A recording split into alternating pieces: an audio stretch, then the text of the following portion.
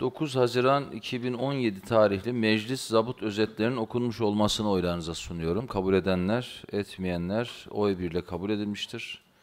Meclis zabıt özetini oylarınıza sunuyorum. Kabul edenler, etmeyenler oy birliğiyle kabul edilmiştir. Değerli arkadaşlarım, 2 Mayıs 2017 tarihli meclis toplantısında AK Parti tarafından verilen önergenin cevabı gruplara dağıtılmıştır. Onun bilgisini verelim.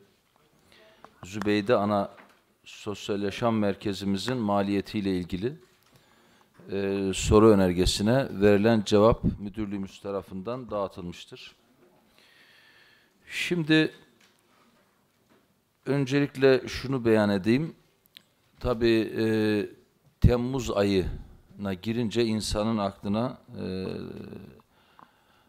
son bir yıla kadar e, gelen en acı olay belki Türkiye tarihinin, Türkiye Cumhuriyeti tarihinin en acı olayı tabii ki ne yazık ki Madımak Oteli'ndeki katliamdır.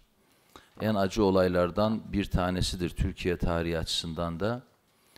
E, ne yazık ki kara gündür. Dolayısıyla orada kaybettiğimiz vatandaşlarımızın ruhu şad olsun diyorum. Ve tabii ki e, geçen yıl itibariyle de 15 Temmuz FETÖ terör örgütünün ortaya koyduğu darbe girişimiyle beraber hayatını kaybeden, şehit olan vatandaşlarımız var. Onların da ruhu şad olsun diyorum.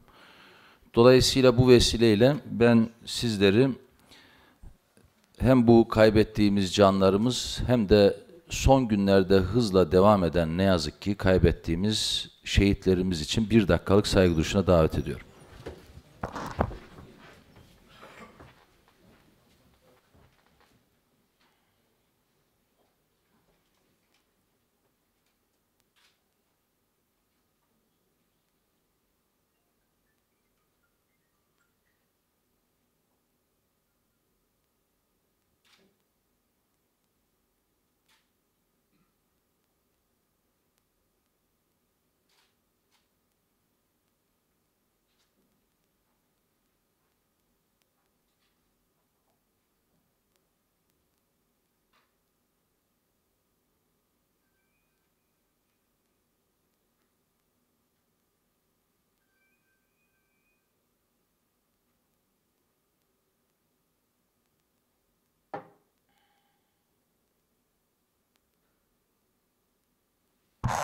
Evet, teşekkür ederim.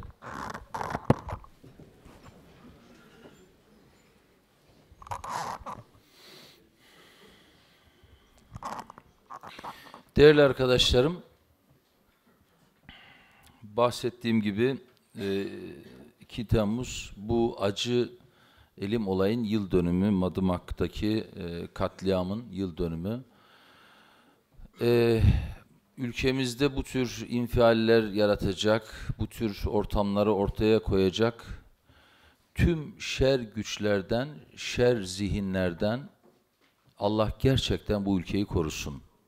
O kimliklerin yaratacağı infial ve ortaya koyabileceği bu tür e, olaylar bazen bazen kendini bilmezlerin nelere mal olabileceğinin en canlı, en vahşi örneğidir diyebilirim. Umut ederim ülkemiz bu tür acı anları ve e, durumları bir daha yaşamaz. Tabii 15 Temmuz Türkiye için önemli bir dönüm noktasıdır. Bir terör örgütünün yıllarca yığınak yaptığı bir ülkede her türlü yığınak, maddi, manevi, bürokratik, siyasi, her türlü yığınak yaptığı bir ülkede kontrolsüz bir gücün ne hale gelebileceği ve ülkeyi ne hale düşürebileceği noktasında bir sonuç günüdür. Dolayısıyla o kötü günün yaşanması elbette hiçbir şekilde ülkemiz tarafından milletimizce istenilen bir şey değil ama yaşandı Dolayısıyla o günden ders çıkararak hayata bakmak lazım, önümüze bakmak lazım. Mühim olan sadece o günü sorgulamak, o günün suçlularını o an ile e, bağlı şekilde yargılamak bu ülke adına geleceğe dönük sağlıklı bir çözüm süreci oluşturmaz. Geçmişten o güne nasıl bu sürecin yaşandığı ve olgunlaştığı, o günün nasıl geliştiği ve sonrasına dönük uğrattığı tahribatların bir bütün olarak ele alınması ve bu şekilde değerlendirilerek Türkiye'nin geleceğine dönük sıkı, sağlıklı ve yasal tedbirlerin olgunlaştırılması şarttır. Aksi takdirde A cemaati görüntüsü gider, B cemaati görüntüsü gelir. Esas olan devlettir, esas olan bu milletin temel değerleridir. Bu temel değerler, temel unsurlardan vazgeçmemek adına yasal tüm tedbirlerin alınması ve bir daha 15 Temmuz gibi bir günün bu ülkede yaşanmaması adına en sıkı uygulamaların devreye sokulması gerekmektedir. Dolayısıyla aslında baktığınızda hem işte 2 Temmuz'daki Madımak Oteli'nde gerçekleştirilen o vahim olay, hem 15 Temmuz süreci ve bunun gibi tüm süreçlerde aslında esas olan ve esas beklenti her kişi yeni doğmuşundan en yaşlısına kadar 80 milyon insanın adalet beklentisidir. Bu çok önemli ve değerli bir şeydir. Adalet su ve ekmek gibidir insan hayatı için. O bakımdan bugün Türkiye'nin geleceğe dönük en sıkı tedbirler alması gereken alanda adalet alanıdır. Adil bir ülke olmak, adil bir toplum olmak adına en sıkı tedbirleri almak mecburiyetindeyiz. Bu bağlamda şu an ülkenin gündeminde olan adalet yürüyüşünü siyaset üstü bir yürüyüş ve eylem olarak görülmesini tüm vatandaşlarımızdan diliyorum. Bu bir siyasi bir eylem değildir, siyasi bir talep değildir. Adalet talebi herkese, devletin en tepesinden işçisine, herkes için, her siyasi kadro için, her vatandaş için şart olan bir duygudur. Belki de geç kalınmış bir yürüyüştür. Ta bu işler balyoz, ergenekon vesaire ortaya atıldığında ortaya konulması gereken bir tepkiydi. Onun için süreç gecikmeden yine herkesin el birliğiyle bu kavrama destek verdiği bir ortamı yaşatmak ve yaşamak dileğiyle diyorum. Bu yürüyüşü de ben şahsen tebrik ettiğimi, doğru bulduğumu belirtmek istiyorum. Değerli dostlarım, tabi bugün meclisi topladık. Meclis bu hafta e, gündemini bitirdikten sonra elbet İstanbul'dayız. Dolayısıyla Büyükşehir Meclisi de var. Ondan sonra e, yaklaşık işte e, Ağustos ayını e, tatil ayı olarak kabul edersek iki ay bir tatil süreci yaşanacak. Umut ederim bu süreçte tüm arkadaşlarımız hem zihinsel hem bedensel dinlenerek ama aynı zamanda kendi iş ve işlemlerinde hem ilçemize hem İstanbul ilimize en güzel şekilde katkı sunarak e, devam ettirirler. Eylül ayı meclisinde tekrar sağlıklı bir şekilde buluşmak dileğiyle bunu da belirteyim. Ee, yine bu hafta Beylikdüzü klasik günlerimiz var. Yaşam vadimize bekliyoruz programımızda. Tüm vatandaşlarımızı şimdiden davet ediyoruz. 30 Ağustos Zafer Bayramı ile beraber başlayacak olan sevgi barış buluşmalarımızın dördüncüsünü e, bu sene yapacağız. E, yine hem birçok yönüyle etkin bir ortam yaratacağımızı düşünüyorum. Sohbetleriyle, katılımcılarıyla, eğlencesiyle, bir araya gelişiyle, bir omuz omuza oluşuyla beraber aynı zamanda bu sene burada Sahaf Festivali'ni de bu sürecin içine katacağımızı şimdiden tüm vatandaşlarımıza duyurmak istiyorum. Ee, ve inşallah orada da milletçe bir arada oluşumuzu simgeleyen güzel günleri bir arada geçire, geçirebilirim. Elbette acı olaylar yaşamamak dileğiyle. Bunun da altını çizmiş olayım. Ee, bu şekilde ben konuşmamı sonlandırıyorum ee, ve gruplara dönüyorum. Gündem dışı söz alacaksınız herhalde. Sizde gündem dışı söz almak isteyen var mı? Peki, o zaman önergenizi alalım. Bir kısa bir önergenizi alalım. Ondan sonra gündem dışı süreci e, başlatalım. Sanırım 3-4 arkadaş söz alacak. Öyle el, el gördüm. Sayın Başkan, değerli meclis üyesi arkadaşlar, Beylikdüzü halkı.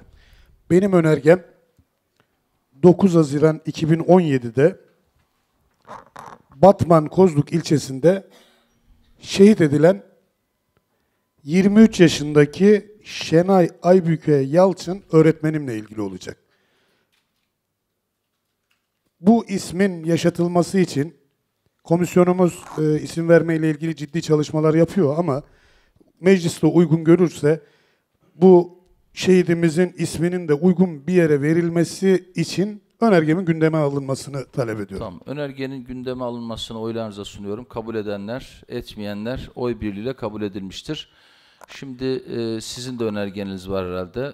Gündem dışı, peki önce gündem dışı alalım. Buyurun.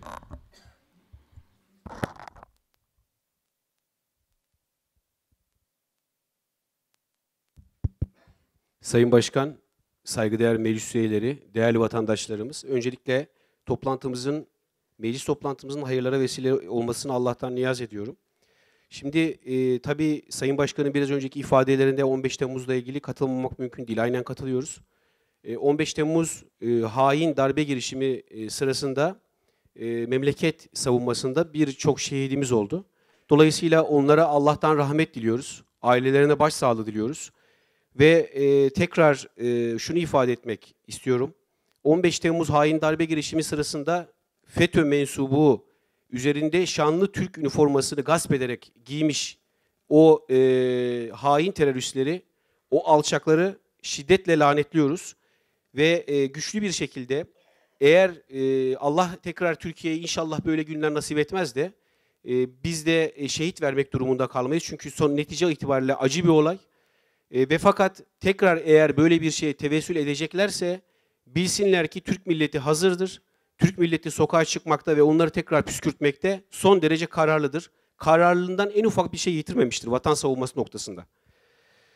Evet, e, ikinci hususta e, Madımak Oteli'nde meydana gelen o menfur, e, kimin parmağı belli olmayan veya gizli servis örgütlerinin parmağıyla yapılmış olan bir sürü içinde provokasyon barındıran, bir sürü soru işareti barındıran o Madımak Oteli'ndeki katliamı, orada ölen canları, e, katliamı lanetliyor, orada ölen canlarımızı, e, canlarımıza Allah'tan rahmet diliyoruz.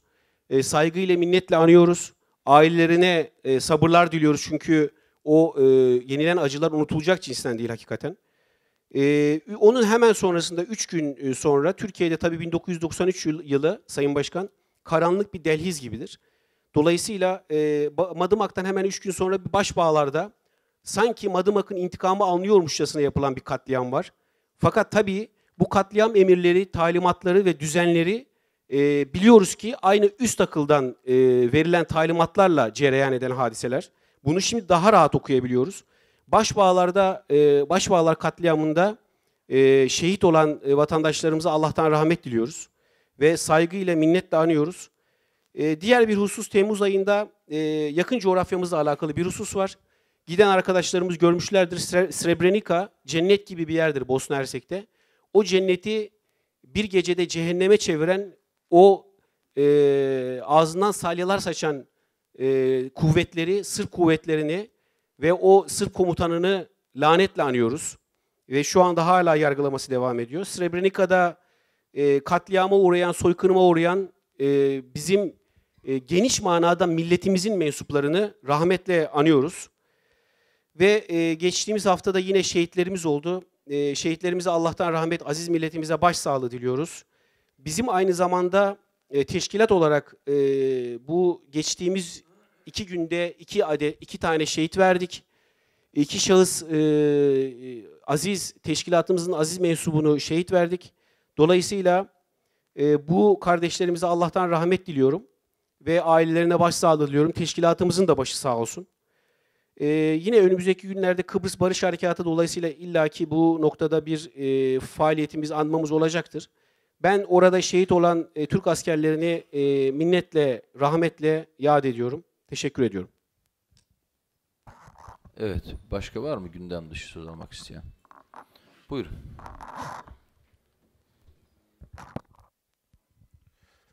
Değerli arkadaşlarım, değerli Beylikdüzü halkı, ben de aynı şekilde Madımak Oteli'nde katledilen vatandaşlarımıza Allah Allah'tan rahmet diliyorum.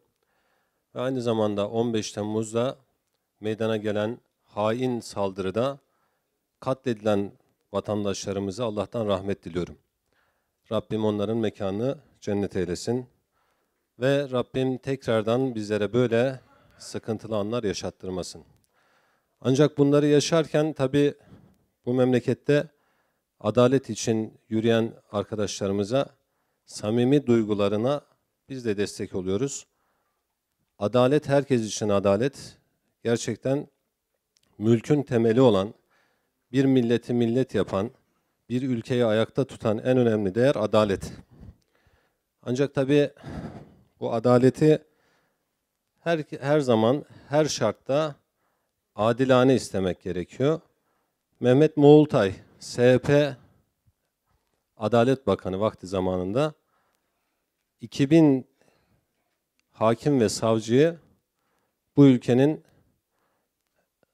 e, kadrolarına aldığı zaman maalesef başka örgütten almayacağız da kendi örgütümüzden almayacağız da nereden alacağız diye itiraf ettiği zamanlarda hatırlayalım. Herkes tarihte hata yapabiliyor.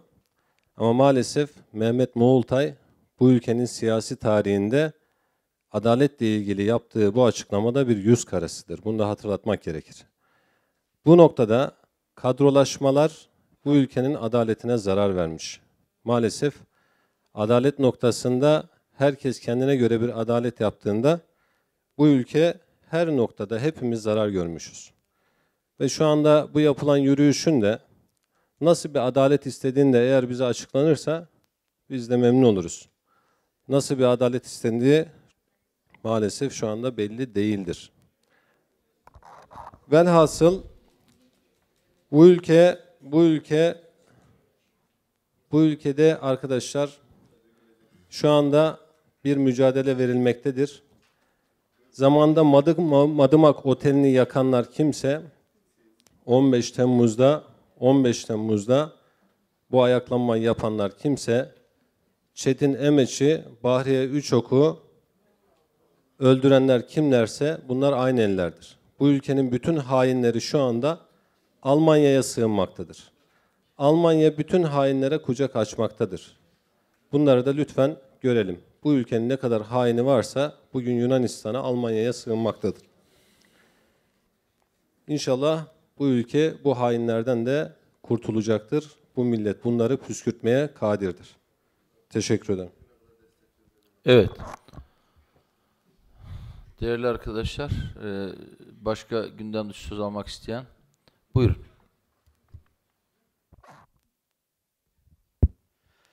Sayın Başkan, değerli meclis, Beylikdüzü halkı. Biz de 2 Temmuz'da Madımak'ta haince katledilen 37 yurttaşımız için bunları yapanların tamamını lanetliyoruz. Çok acı bir şey var. Failleri bulunmadan o hadisenin üstü AK Parti iktidarı döneminde zaman aşımına uğratıldı. Bunu da üzerine gitmeyenleri de bir kere daha lanetliyorum, adil olmaya davet ediyorum.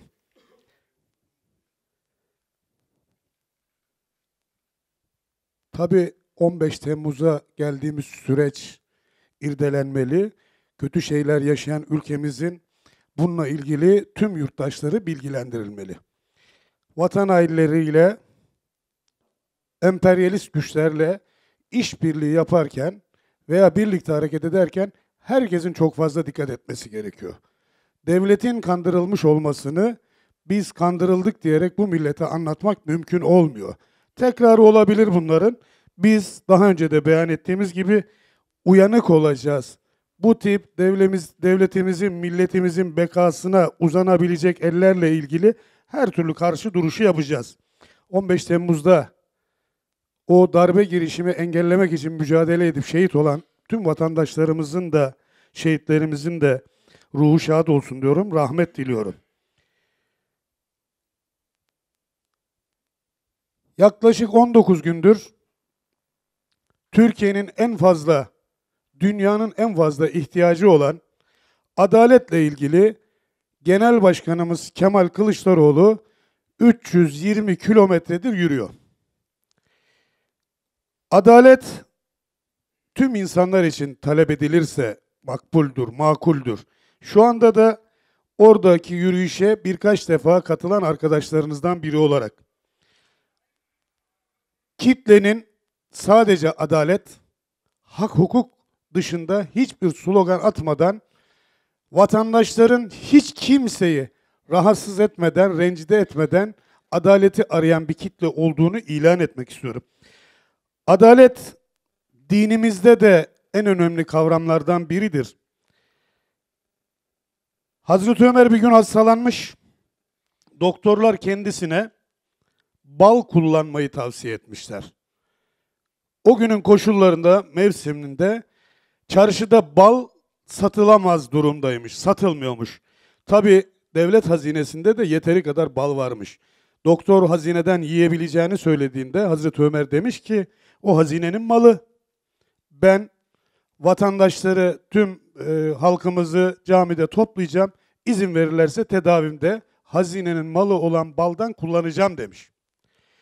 Ve müsaade edince onu kullanmış, tedavisi gerçekleşmiş. Bunu niye anlattım? Anlattım. Devleti yönetenler vatandaşları arasında hiçbir ayrım yapmadan çok adil olmak zorundalar.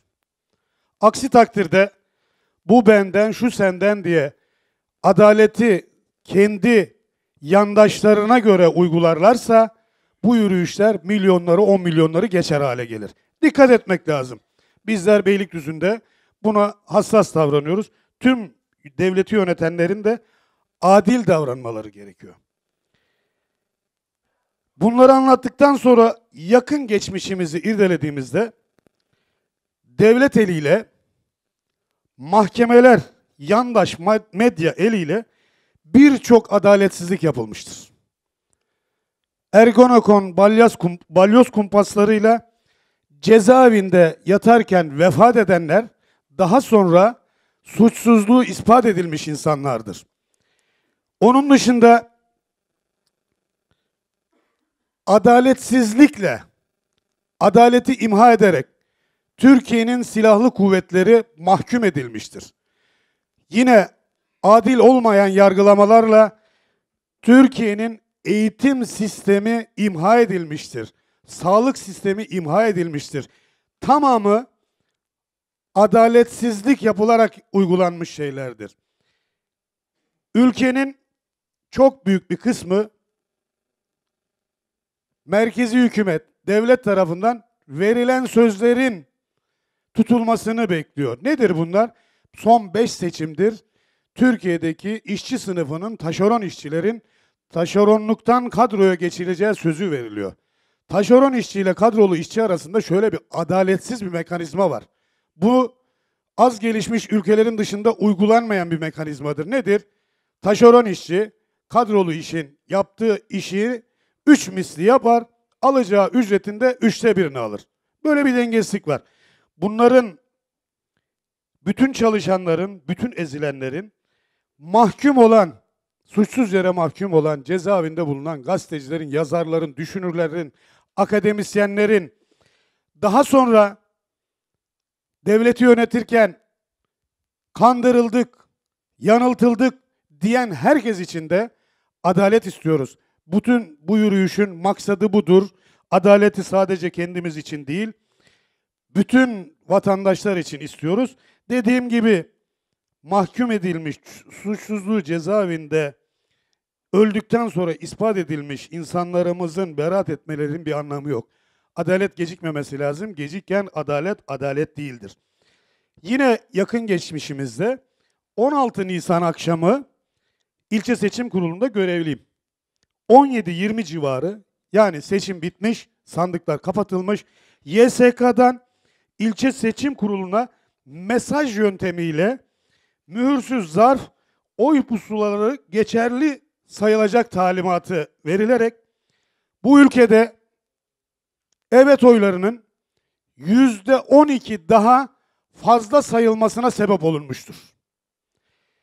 Adalet işte milletin hür iradesiyle vermiş olduğu kararlarda da istiyoruz. Niye diyorum bunu? YSK babasının çiftliğini yönetmiyor. Anayasanın üstünde kararlar alamaz. Seçim yasasının 298. maddesinin 298 sayılı seçim yasasının 101. maddesinin 3. fıkrası şunu söylüyor. Mühürsüz oy pusulaları, mühürsüz zarflar tamamı geçersiz kabul edilebilir. Edilir. Bu anayasa YSK'nın başındaki veya başka kurumların başındaki keyfi birilerinden talimat alarak yasaları delik deşik ederse o yasalar kullanılmaz hale gelir. Adaletsiz bir ortamda yaşamak zorunda kalırız. Herkes kendi adaletini ararsa ülkede kaos olur, buhran olur. Yani adaleti, adaletin yerleşmesi için Türkiye'de bulunan tüm siyasi partilere, başta iktidar partisi AK Parti ve mensuplarına biz nasıl Yeni Kapı'da safiyane duygularla yapılan çağrıdan sonra bu milletin milli beraberlik bütünlüğe ihtiyacı var dendikten sonra hepimiz oraya gidip sadece maksadımız bu millet 15 Temmuz'daki gibi terör örgütlerinin kucağına oturmayacak. Biz de bu birlik bütünlüğün içinde var olacağız dedik. Sizlerden de beklentim beşinde ilçe olarak gidiyoruz. Bütün vatandaşları davet ediyoruz. Saat 4'te Fatih Sultan Mehmet Camii'nin oradan sabah 04'te araçlarımız kalkacaktır. Buraya katılmak isteyen tüm yurttaşlarımızı yürüyüşe davet ediyoruz. Yine 9'unda saatini daha sonra açıklayacağız. Bizim e, Eston Marina'dan vapurlar, feribotlar kalkacak. Yetişmezse araç tahsislerimiz olacak. Adalet diye bağıranlar ne kadar çoğalırsa bu ülkede adaletsizlik yapma cüretini göstermek isteyenler biraz sinmek zorunda kalır.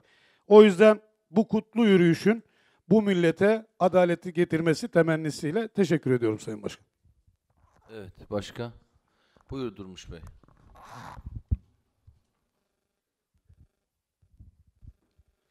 Sayın Başkan, değerli meclis üyeleri, değerli Beylikdüzü halkı. Hepinizi saygıyla selamlıyorum. Sayın Başkan, 15 Temmuz'la ilgili söylendi, söylediğiniz bütün şeylere katılıyorum. Benim size ifade edeceğim 1993 yılında Madımak'ta insanlığın öldüğü gün. Madımak'ta sadece Aleviler ölmedi. Madımak'ta Sünnisi öldü. Madımak'ta Türk öldü, Kürdü öldü. Madımak'ta kısaca insanlık öldü. Bunun için hafızamızda yer etmesi için Madımak'ta canlarını veren canların ismini okumak istiyorum. Asım Bezirci, Asaf Küçük, Ahmet Özyurt, Belkıs Çakır, Edibe Sulari, Erdal Ayrancı, Asuman Sivri, Yasemin Sivri, Behçet Aysan, Karina Kuna, Nesimi Çimen, Metin Altıtok, Hasret Gültekin, Mehmet Atay, Hali, Muhlis Akarsu, Muammer Çiçek, Uğur Kaynar, Gülender Akçit, Gülsüm Karababa, Handan Metin, Huriye Özkan, İnci Türk, Koray Kaya, Menekşe Kaya, Münire Akarsu, Murat Gündüz, Nur, Nuran Nur, Nurcan Şahin, Sait Metin, Sehergül Ateş, Serpil Canik, Serkan Doğan, Yeşim Özkan, Kenan Yılmaz, Ahmet Öztürk, Özlem Şahin. 35 canımız yana yana canını vermiştir.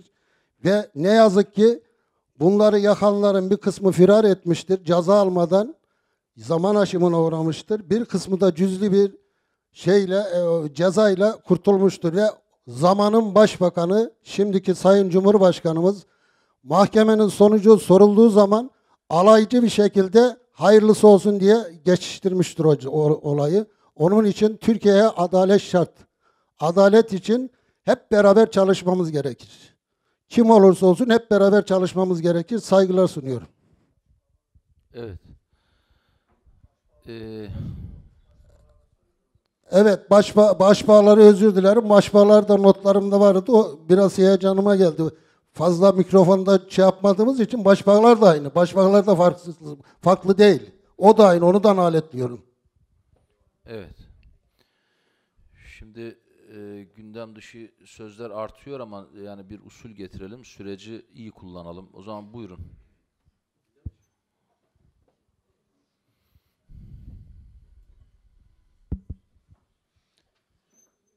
Sayın Başkan, Türkiye'de adalet yeni aranan çok kıymetli bir kavram değil. Türkiye Cumhuriyeti Devleti'nin kuruluşundan bugüne dek adalet aranıyor zaten. Eğer adalet aranmamış olsaydı, çok partili süreçten sonra Demokrat Parti eğer bu memlekette doğru bir demokrasi işliyor olsaydı Demokrat Parti adında bir Demokrat Parti kimliğiyle siyasal bir oluşum oluşmazdı. 60 darbesinden sonra adına Adalet Partisi dedikleri bir parti kurulmaz. Bu memlekette adalet uğruna uğraş göstermez, siyasi mücadele vermezdi. Konu anlaşılıyor ki hem sizin sohbetlerinizden hem de arkadaşlarımızın söylemlerinden adaletin ne kadar değerli bir kavram olduğunu ve bu memlekete ne kadar da lazım olduğunun da ifadelerini hep beraber özümsüyoruz. Şüphesiz bize tarihte gösteriyor ki adalet yeni aranan bir kavram değil Türkiye'de. Tabii adalet söz konusu olunca benim birinci önerim şu, Sayın Başkanım özellikle şahsınıza. Tabii evet doğru memleket meselelerini konuşmayalım değil. Memleketin genel siyasetini de konuşmayalım değil. Ama asıl benim kanaatim o ki biz Beylikdüzü'nü konuşalım. Beylikdüzü'nden ne kadar adil bir yönetim var bunu konuşalım. Beylikdüzü ne kadar doğru yönetiliyor bunu konuşalım. Beylikdüzü ne kadar şeffaf yönetiliyor bunları konuşalım. Memleketin meselelerini bırakalım da partilerimizin genel başkanları konuşsunlar. Hatta adaletin yollarda aranmayacağını, bunun merkezinin de Türkiye Büyük Millet Meclisi olduğunu da özellikle özümseyelim. Öte taraftan Cumhuriyet Halk Partili bir belediyenin Cumhuriyet Halk Partili bir belediyenin grup başkan vekilinin Hazreti Ömer radıyallahu anh'dan misal vermesini de çok anlamlı bulduğumu da özellikle paylaşmak istiyorum. Çok keyif aldım, çok mutlu oldum. Keşke o adalet kavramını, keşke o adalet bilincini şahsımızda da özümseyebilirsek. Ne kadar kıymetli, ne kadar değerli olacak. Dolayısıyla Sayın Başkanım, Nacizane bir kardeşiniz olarak teklifim şu. Biz daha çok sizden ricam Beylikdüzü'nü konuşalım, Beylikdüzü'nü. Beylikdüzü'nü konuştuğumuzda gerçek vazifemizi icra etmiş olacağız. Teşekkür ediyorum. Evet. Ee, şimdi söz alacak mısınız? Peki. Var mı gündem dışı? Bu gündem dışı sözlere e, oldukça fırsat tanımak. Geçen hafta, geçen ayki mecliste e, sadece tek bir gruba yaklaşık bir saat söz hakkı tanımak ne kadar adil olduğumuzun bir göstergesidir. Dilin iradesi şahsa aittir. Biz kimin ne konuşacağına müdahale etmiyoruz. O bakımdan e, neler neler konuşuluyor ki, neler neler konuşuldu ki burada veya bu kürsüde. Biz de adil bir şekilde herkese konuşmasıyla ilgili müsaade etmekle Türkiye'de belki hiçbir yerde göremeyeceğiniz kadar adil bir yönetimi sürdürdüğümüzü belirtmek istiyorum. Elbette herkes mutlu olamayabilir, eleştiri olacaktır. İnsanoğludur, hata yapar ama adalet duygusunun en önde durduğu bir yönetim anlayışını Beylikdüzü'nde ortaya koymaya çalıştığımızı vatandaşlarımız biliyor, sizler de biliyorsunuz. Eksiklerimiz olabilir elbette. Umut ederim e, eksiği az, doğrusu fazla olan bir yönetim sürecini başta adalet duygusu için e, yapanlardan en iyisi olmak için mücadele ediyoruz. Umuyorum böyle kabul edilir. Evet. Son o zaman e, iki mi? Gündem dışı ama lütfen süreyi iyi kullanalım ki e, süreç kısalsın ve bir an önce gündemimize geçelim. Buyurun. Sayın Başkanım, değerli meclis üyeleri, değerli Beylikdüzü halkımız. mahallemizin sesi olan sevgili muhtarlarımızın yaşam vadisiyle ilgili kendi el yazılarıyla yazmış oldukları mektupları kınayan AK Parti meclis üyelerini kınıyoruz. Muhtarlarımız dalga konusu olmuştur. Bunu şiddetle kınayarak muhtarlarımızdan özür dilemenizi talep ediyoruz. Sevgili muhtarlarımıza tarafsız oldukları için, hizmetten yana oldukları için tekrar teşekkür ediyoruz. Demokrasinin temel taşı muhtarlardır. Mustafa Kemal Atatürk. Saygılarımı sunuyorum başkanım. Evet, buyurun.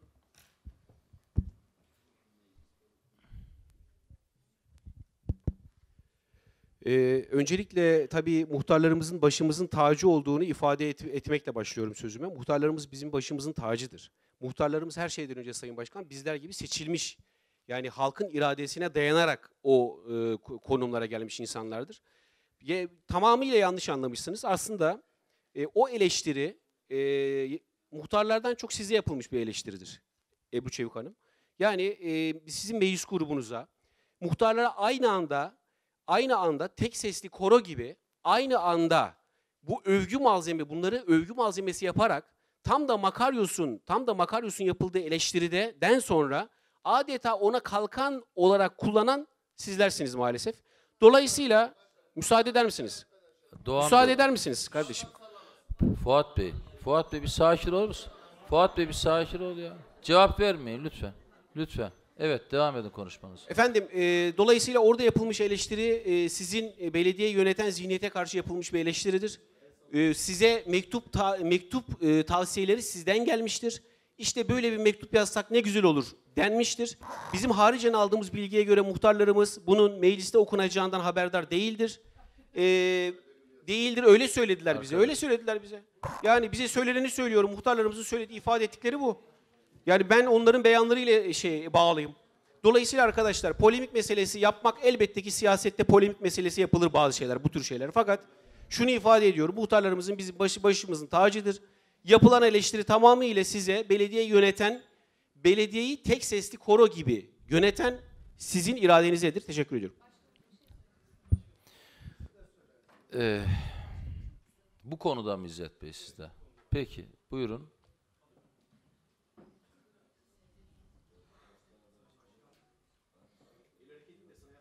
Sayın Başkan, değerli meclis üyeleri, değerli katılımcılar. Tabii ki Sayın Başkanım siz sürekli bir- Sakin olun arkadaşlar karşılıklı bir saniye. Karşılıklı lütfen diyaloğa girmeyin. Herkesin konusu gündemi belli.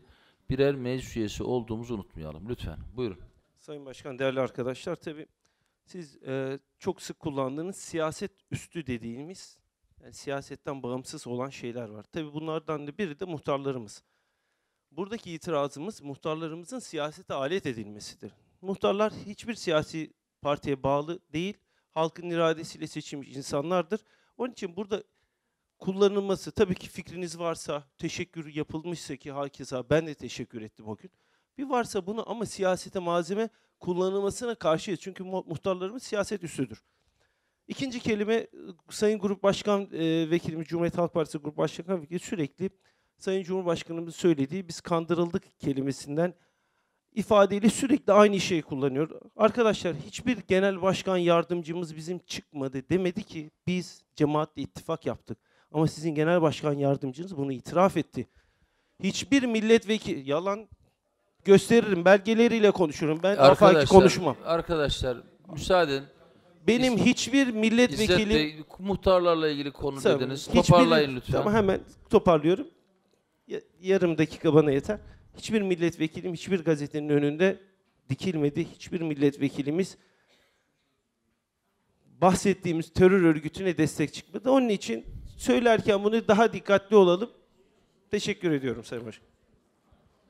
Evet. e, Mülayim Bey buyurun. Bu konuyu mu toparlayacak? Peki tamam buyurun. Kısa olsun lütfen. Tabii, tabii. Söz hakkı doğmasın. Sayın Başkan, geçen mecliste söylemiştim. FETÖ terör örgütünün siyasi uzantısının üstüne gitmek için Türkiye Büyük Millet Meclisi'nde bir siyasi parti önerge verdi. AK Parti meclis üyelerinin oylarıyla reddedildi.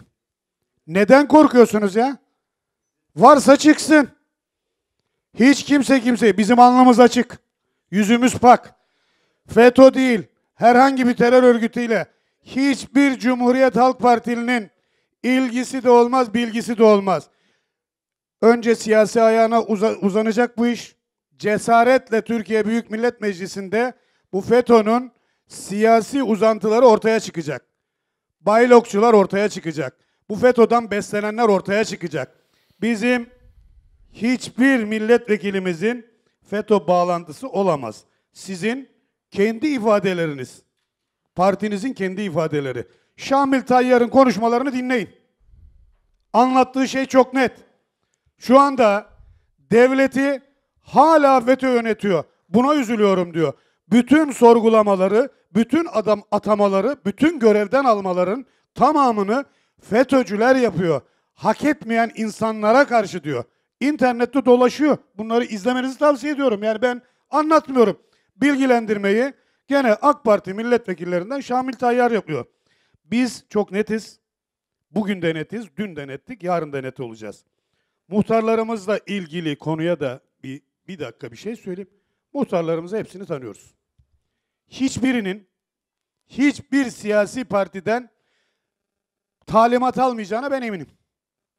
Kaldı ki belediyenin Beylikdüzü'nde bütün Türkiye'nin hatta Avrupalı bazı teknik adamların, görselcilerin övgüyle bahsettiği Yaşam Vadisi ile ilgili Beylikdüzü Belediyesi'nin bu Beylikdüzü Belediyesi Beylikdüzü'nde yaşayan tüm insanların belediyesi. Sizin de belediyeniz.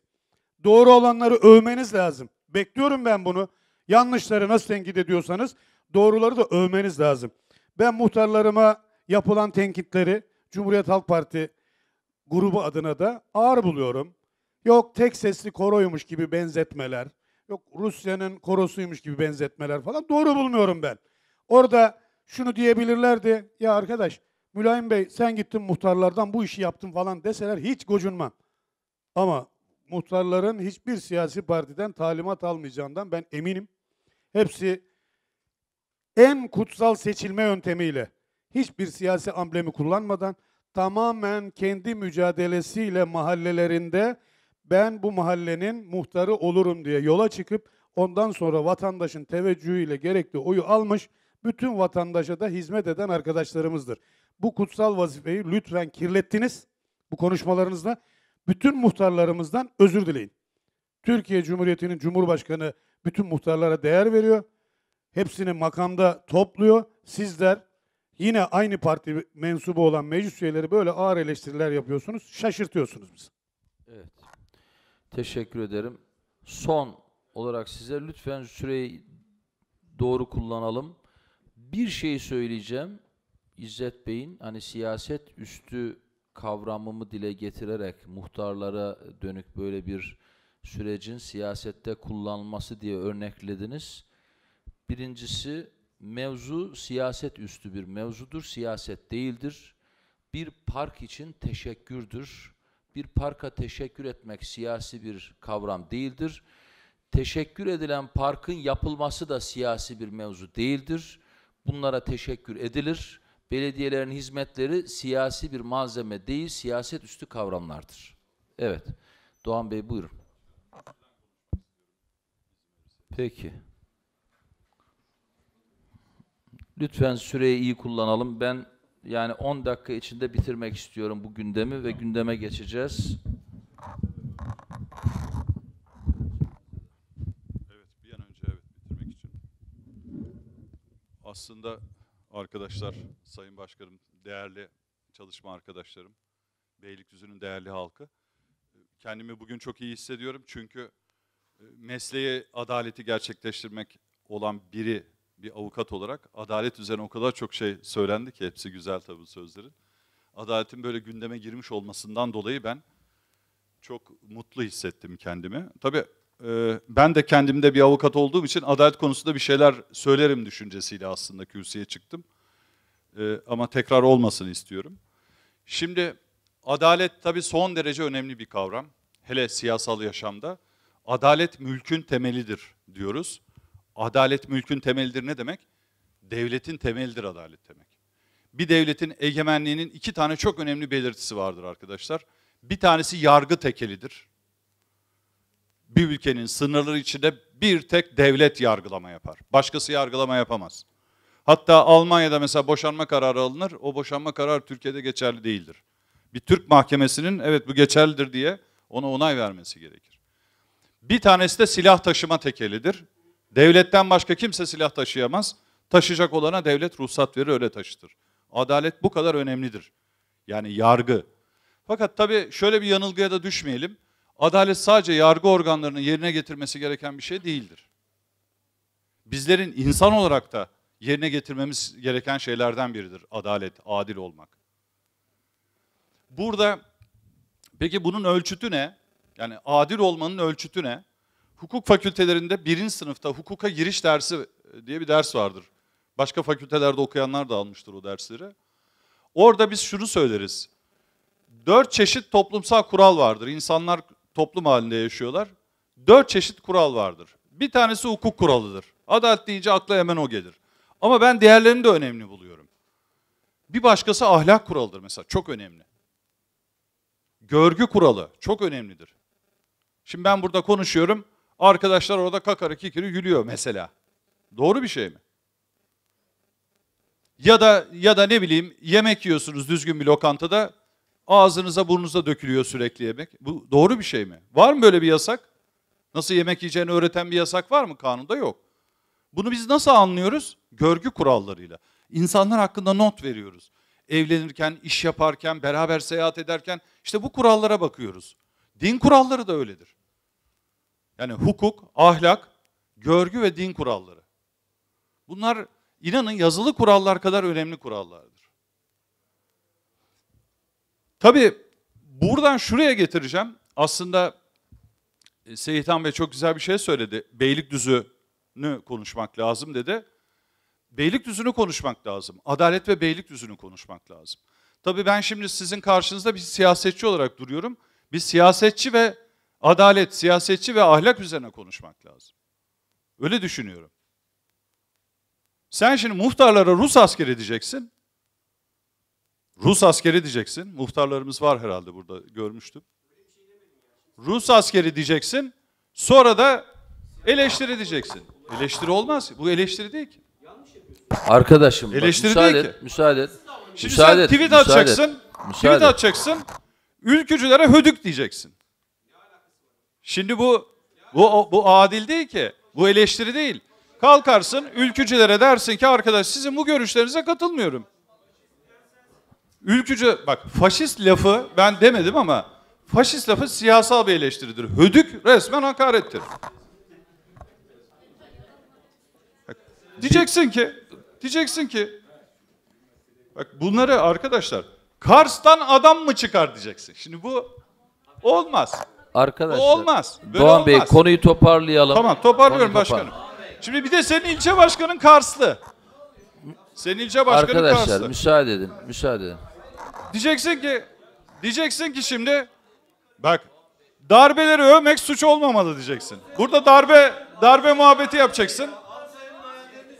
Ermeni soykırımı yapmak, Erkeni, Ermeni soykırımı yapmak Bir saniye, bir saniye. Müsaade edin, müsaade edin, müsaade edin, müsaade edin, müsaade edin.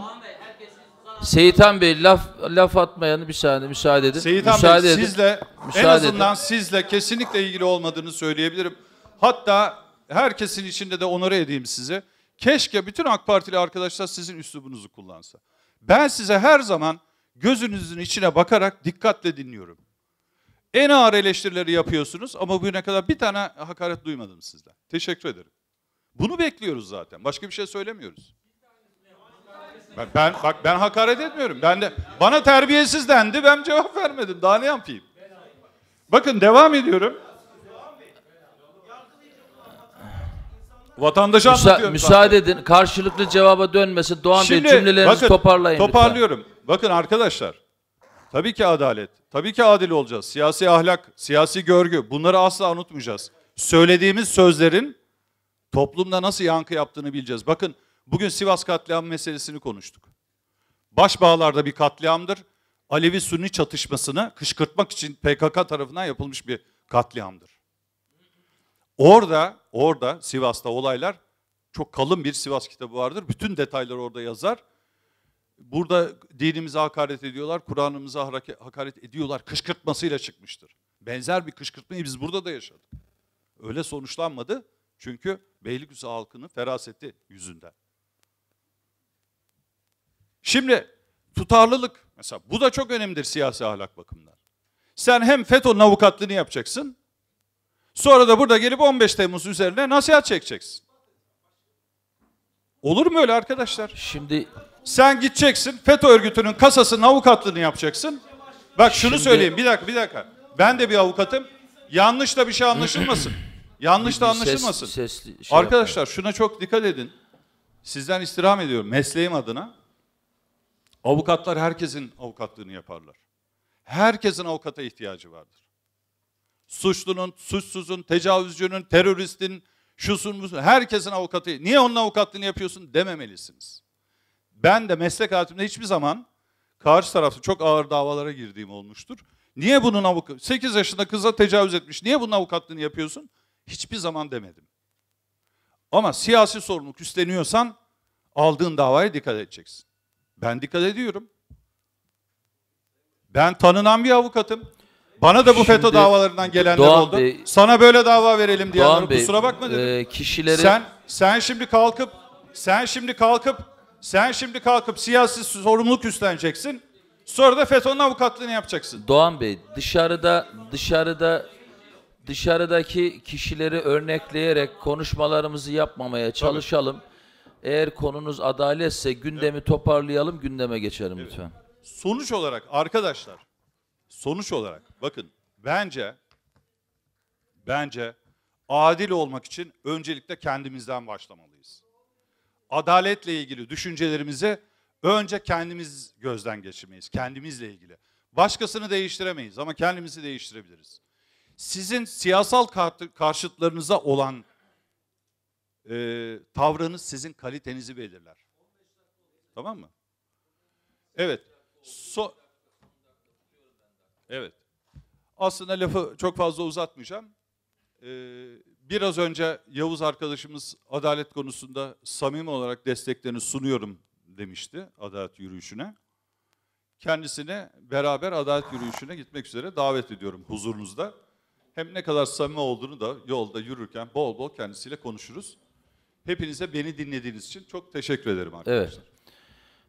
Ee, söz hakkı doğduğu için size bir cevap hakkı veriyorum. Sonra gündeme geçmek istiyoruz. Lütfen cevabınızı orada verin. Toparlayalım. Buyurun. Buyurun. Ama iş uzayacak. Cevap hakkınız doğdu. Buyurun. Peki buyurun kullanın. Tabii buyurun. Sorun yok.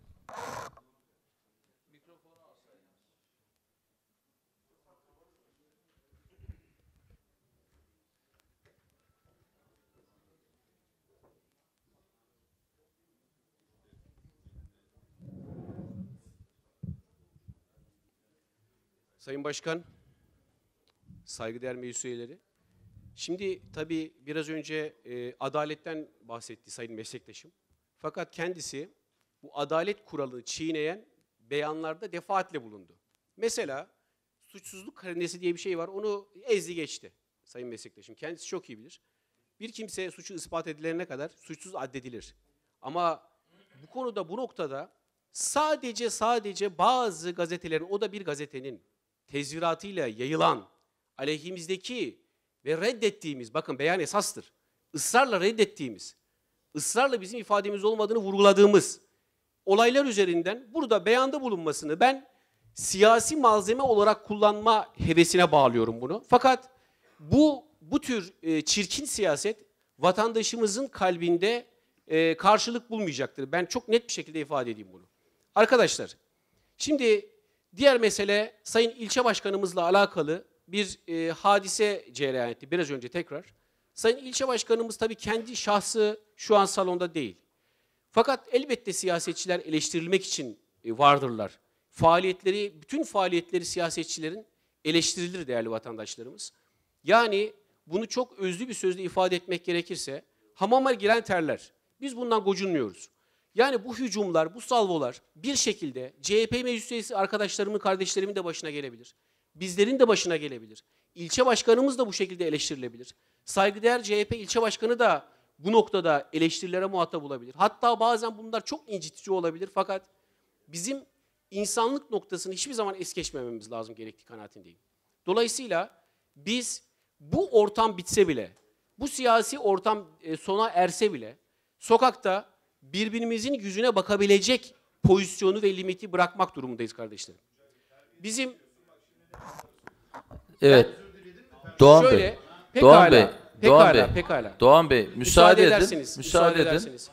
Aynı Benim- aynı usluba bakın, geçmeyelim. Bakın şunu şunu ifade edeyim Doğan Bey. Çok samimiyetle söylüyorum. Terbiyesiz Doğan Bey. müsaade edin lütfen. Ben size terbiyesizlik yapıyorsunuz ifadesini kullandım. Evet, terbiyesizlik yapıyorsunuz ifadesini kullandım. Bunu şahsınıza, bunu fiil için kullandım ben. Fakat şahsınıza aldıysanız bunu sizden özür diliyorum. Dolayısıyla e, lütfen kusuruma bakmayın. O e, olayın harareti açısından, olayın harareti içerisinde birbirimizi kıracak laflar edebiliyoruz. Bu doğal olmamakla birlikte mecliste bazen maalesef vuku bulan hadiseler bunlar. Dolayısıyla eğer şahsınıza bunu algıladıysanız sizden özür diliyorum. Tüm vatandaşlarımızın huzurunda özür diliyorum. Dolayısıyla e, kardeşlerim bu bir milat olsun. Bunu bir çizgi olarak çekelim. Bundan sonra da belli bir üslupla, siyasi üslupla yolumuza devam etmeye çalışalım. Arkadaşlar biz elbette ki hata yapabilen insanlarız. Bazı hatalarımız elbette siyaset üretirken de hata yapabiliriz. Fakat şu, mesele şu, ben e, tekrar ifade edeyim, arkadaşlar tekrar ifade ediyorum. Ben şahsım biraz önce Doğan Bey'in e, zikrettiği meselelerdeki ifadeleri kullanmadım. Bu bizim hacklenmiş hesabımıza ilişkin belki ekran görüntüsüyle şey yapılmış, çoğaltılmış meseleler bunlar. Bunlarla alakalı tabii Türk yargı ma- mahkemeler yolu açık. Biz bu çeşitli başvurularımız olacak bu noktalarda. Fakat tekrar ifade edeyim. Yani burada e, endişeye mahal yok. E, onu çok net ifade edeyim. Lütfen beyanıma inanın e, sayın meslektaşım. Beyanıma inanın. E, dolayısıyla arkadaşlar ilçe başkanımız hususunda da ilçe başkanımızın elbette kendisi burada yoktur. E, onun aleyhinde söylediğiniz sözleri kabul etmiyoruz. E, şu da vardır. Müddeyi iddiasını ispatlamakla mükelleftir. Bu iddiaları ispatsız eğer böyle iddialarınız varsa ispatsız bırakmak bunu iftira haline getirecektir. O da bize yakışmaz. O da e, doğru olmaz. Dolayısıyla arkadaşlar benim tekrar temennim Sayın Başkanım şu. E, belli Beylikdüzü'nde son günlerde bir şekilde hararetlenmiş siyasi seviyeyi, siyaseti e, belli bir e, soğutmamız lazım.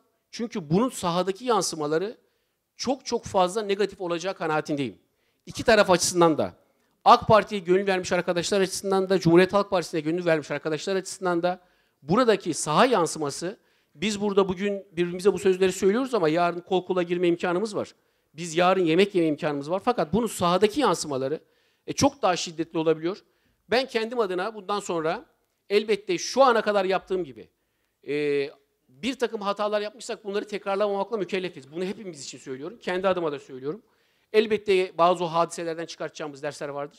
Fakat e, mesele e, yani yarın sokaklarda yüzde bakabilecek pozisyonu muhafaza etmektir. Teşekkür ediyorum fırsatı verdiğiniz için.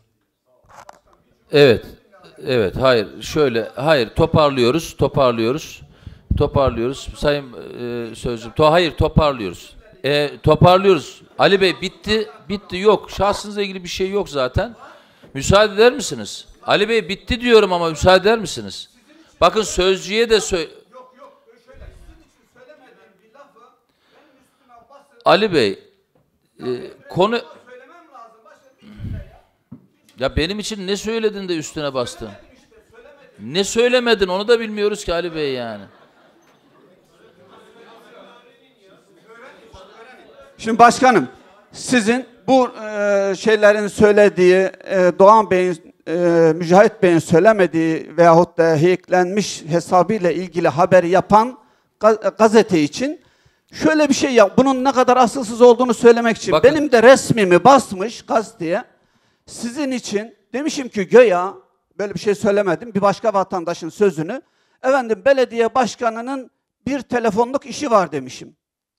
Ben böyle bir söz ne söyledim ne de ifade ettim ne de hiçbir top böyle bir şeyin saçma sözü de söyleyecek biri değilim. Evet. Bey, Böyle bir sözü kim söylemişse o söyleyen kişiyle ilgili haber yapar. Benim söylemediğim bir sözü benim fotoğrafımın üzerine basıp efendim yayın yapan bir gazeteci yani böyle bir yalancı bir gazetenin haberine inanan Doğan Bey'i Ali- esefle Ali Bey, karşıladım. Hepsi bu yalancı- kadar. Yalancı dediğiniz gazete orada, gazeteci He orada. işte Dava yani onu söylüyorum. Yani Bak evet. müsaade edin, müsaade edin. Tamam. Benim, bir de, evet bir de benim bir ilçe başkanımız ama- açıklama yapmıştır. Ali Bey müsaade edin Biz- bak kendi konunuzu aldınız. Diğer konuyu söyledi zaten sözünüz. Toparlıyoruz. Bir. Bir.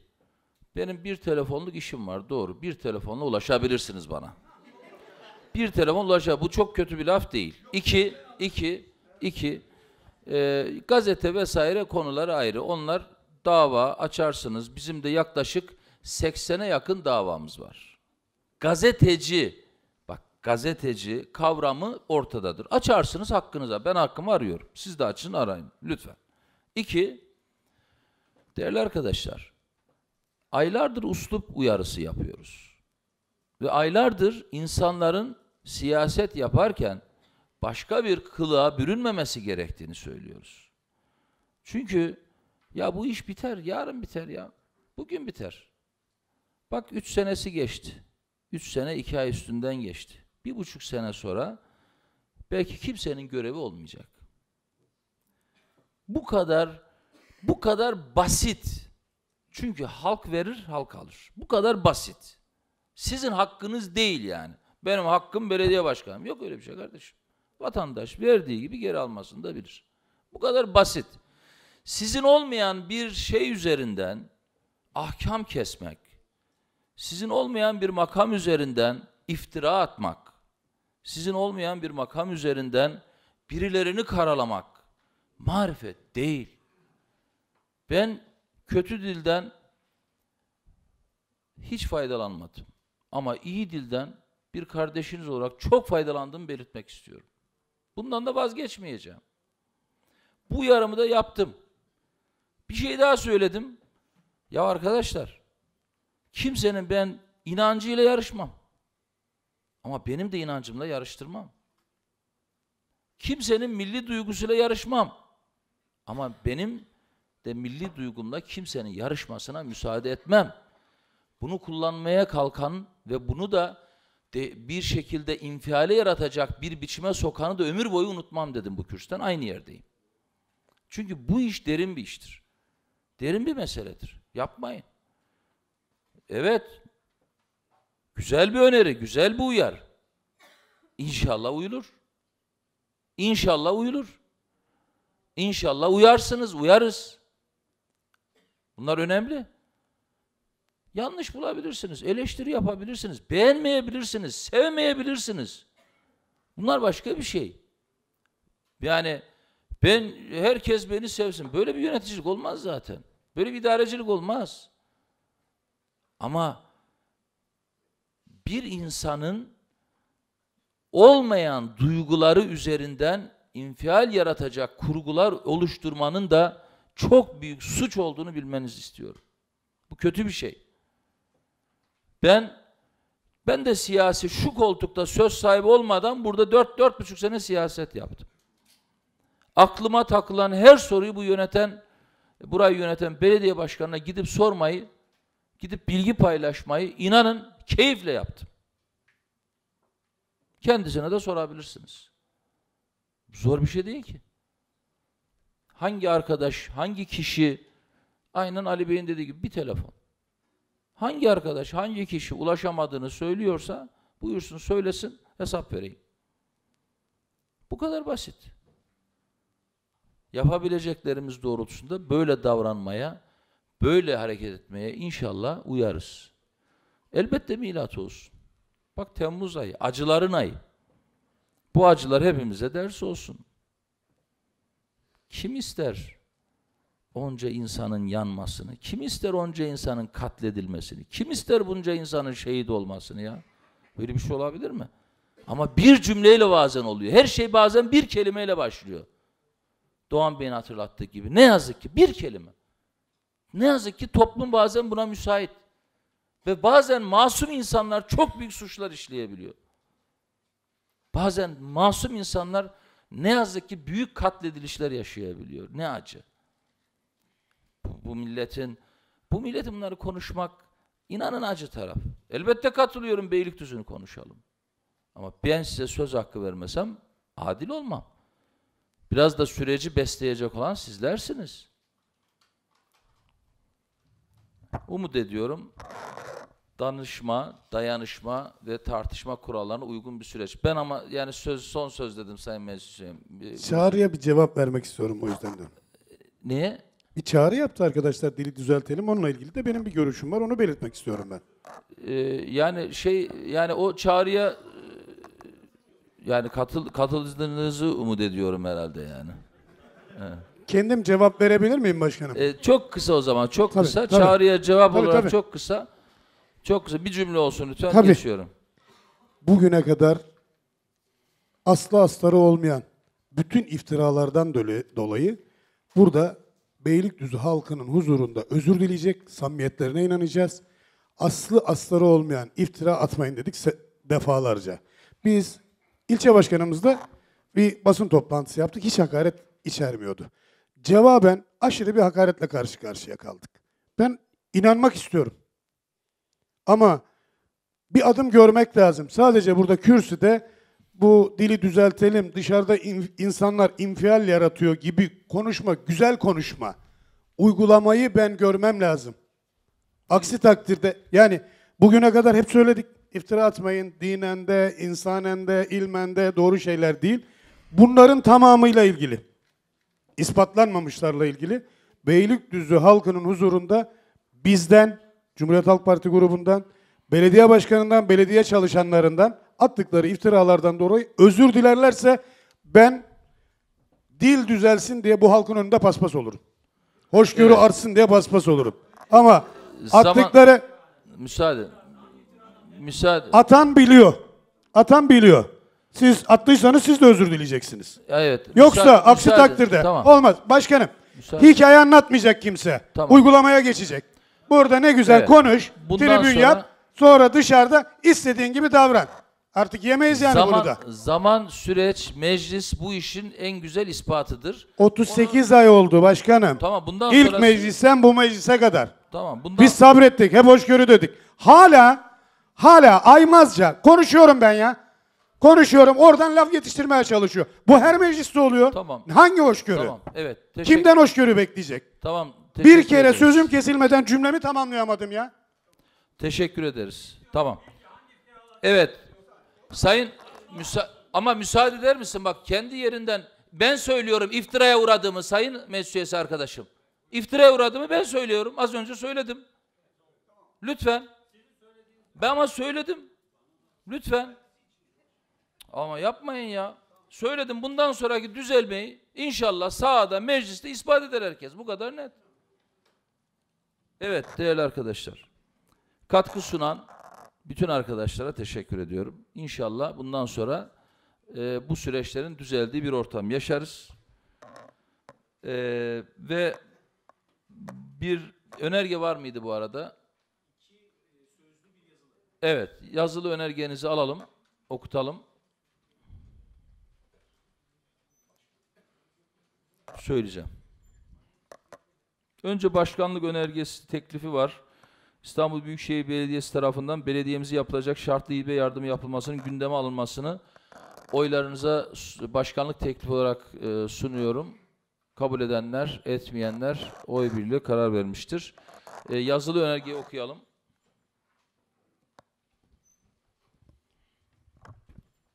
Beylikdüzü Belediyesi Meclis Başkanlığı'na ilk etabı hizmete açılan Yeşil Vadi'nin birinci kısmının belediyemize maliyetinin başlıklar altında belediye başkanımız tarafından AK Parti grubuna yazılı olarak verilmesini rica ederiz.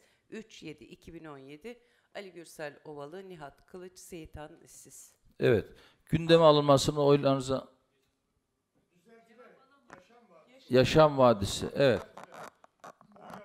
Evet, Yaşam Vadisi olarak düzeltilerek gündeme alınmasını oylarınıza sunuyorum. Kabul edenler, etmeyenler oy birliğiyle karar vermiştir. Sözlü önerge. Buyurun. Sayın Başkan, değerli meclis üyesi arkadaşlarım, değerli Beylikdüzü halkı. Malum belediyemizin karşısında Çamlık alanımız var ve onun arkasında da Westside adıyla anılan bir proje var. Bu proje şu anda kabı inşaatı bitmiş durumda. Ee, ancak şu anda Reşat Nuri Güntekin olarak isimlendirilmiş olan sokak eee, o inşaat tarafından kullanılıyor.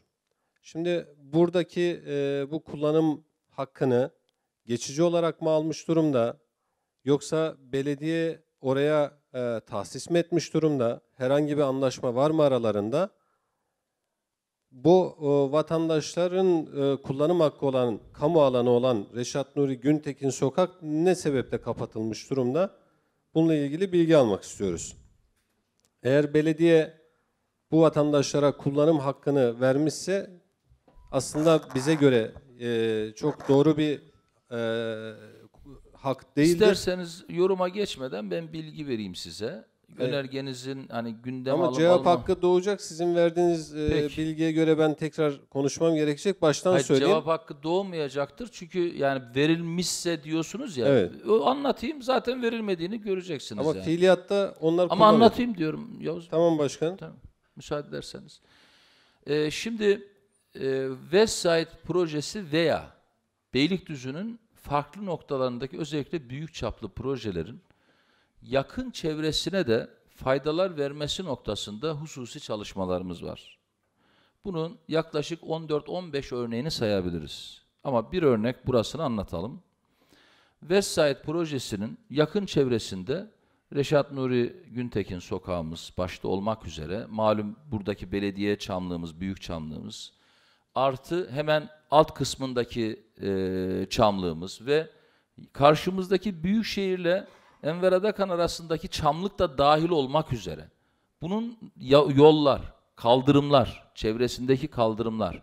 Yani belediye mülküne geçmiş olan. Şunu da ifade edelim. Bizim dönemimizde bu bahsettiğimiz çamlık ve o yol da dahil olmak üzere mülkümüze geçmiştir. Şartsız bağış alarak. Onu da ifade edelim. Yani bizden tabii o firmadan. Yani daha önce o firmaya aitti. Bu gördüğümüz o yol ve parkta olmak üzere belediyemizin mülküne geçmiştir bizim dönemimizde. Artı bu çamlığın mevcut çamlığın komple rehabilitasyonu. Yani şu anda yapılan tespitler neticesinde ne yazık ki özellikle drenaj sorunu yaşayan bu çamlık büyük bir tehdit altında. Drenajlarının yapılarak suyun naklinin sağlanması, bütün yürüyüş yollarının yenilenmesi, aydınlatmanın yenilenmesi ki bu uygulama şu anda alt çamlıkta yapılıyor. Sokakların yenilenmesi ki buna Reşat Nuri de dahil. Artı kaldırımların yenilenmesi, artı bu önümüzdeki çamlığın da rehabilite edip yürüyüş yollarıyla beslenmesi tamamen bize bir kuruş maliyeti olmaksızın bu firmaya yaptırılmakta. Bunun karşılığında da hiçbir şey verilmemekte. Yani o yolun tahsisi mümkün değil bu yol. Ha şöyle bir sorun var. Bu yol çıkmaz yol. Büyükşehir'le görüşmemiz sürüyor. Büyükşehir'in metrobüs meydanı üzerinden dönen yola entegre edilmesiyle bu yolun çıkmaz yol olmaktan çıkmasını görüşüyoruz. Büyükşehir şu anda buna olumsuz bakıyor. Bizce olumlu. Eğer olmazsa kendi sınırları içerisinden bir alt caddeye bağlanması hususunda da çalışmalarımız var. Firma bunu kabul etmiş durumda. Orada sadece çamlıkların arasından gezme diye bir durum var. Dolayısıyla fazla bir süresi kalmadı. Ağustos ayı sonunda inşallah bu yakın çevresinin de güzelleştiği, komple o yolun zemini, parklanması, cadde düzeni, aydınlatması ve ağaçlandırılması dahil olmak üzere bahsettiğimiz alan yaklaşık 100 dönüme yakın bir alan. 100 dönümün tüm rehabilitasyonunu firmaya yaptırıyoruz. Ve buna da belediyemiz bir kuruş harcamıyor. Bunu bilgine paylaşayım. Tahsis edilmediğinde bizzat ben size beyan ediyorum.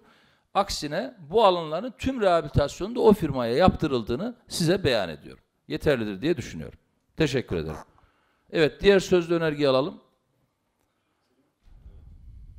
Buyurun. Evet, e, Westside firmasının bu kadar hayırsever olması bizi gerçekten çok etkiledi.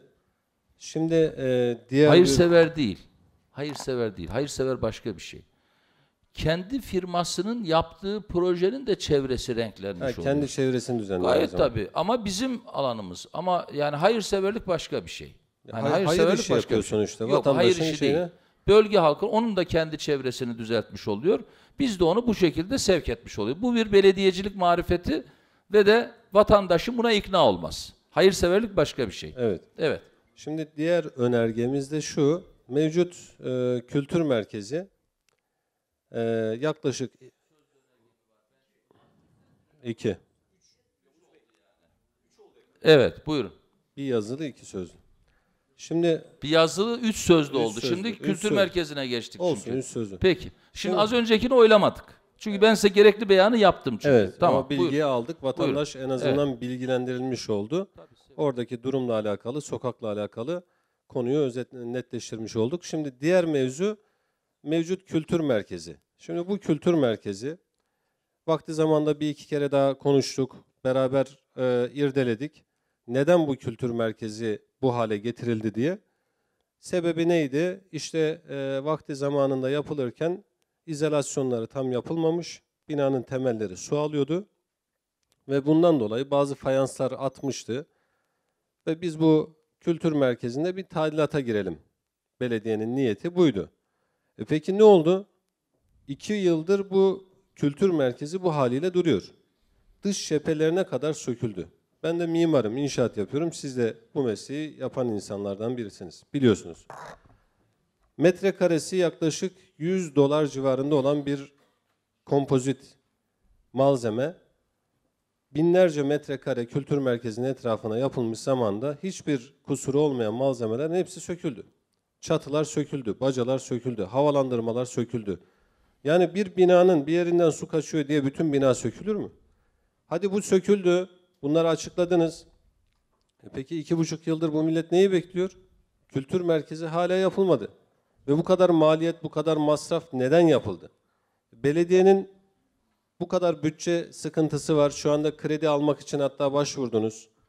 Yani bu kadar borçları var, sıkıntısı var. Bu kültür merkezinin bu komple değişiminin sebebini ve yanlış bana göre yanlış e, yatırımının bedelini vatandaş ödüyor. Dolayısıyla bu neyi bekliyor? Niye bitirilmiyor? Müteahhitle alakalı bir sıkıntı mı var?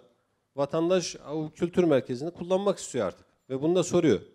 Bununla ilgili bir bilgi almak istiyoruz. Evet. Tekrar bu fırsatı verdiğiniz için çok teşekkür ediyorum size.